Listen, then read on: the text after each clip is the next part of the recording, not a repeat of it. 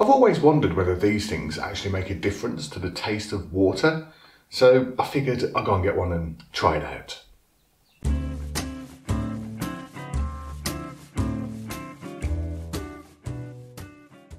Okay, so let's open it up, see what it's like inside.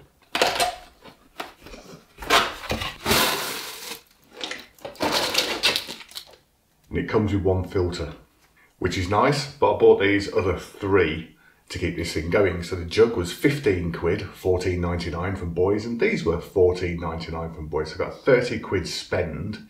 So I'm thinking, you know, if I was to buy that in bottles of water, I'd soon get through that amount of bottled water. So I'm hoping this saves a bit of till as well.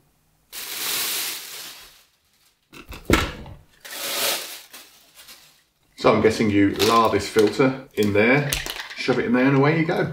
Right then.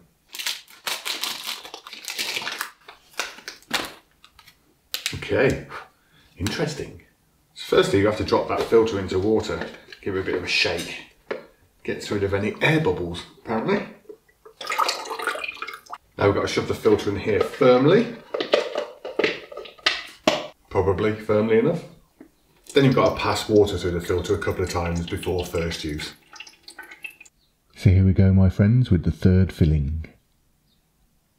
And there's also this little meter and when you've put your filter in you press start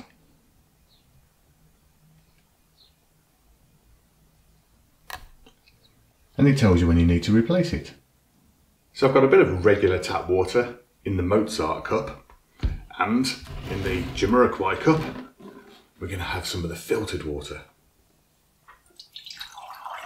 I've always wanted to try this. Right, here we go. Mozart first. Tap water, as I've always known it. Filtered water. Do you know what? It does taste a tiny bit cleaner. I've got to admit, I am amazed at that. I didn't think it would. So, Brita. Water filter. Does what it says on the box. Excellent. Right then, clean water for me from now on. Anyway, thanks for coming. Till next time, get out of here. I've often wondered whether these things actually make water relevant.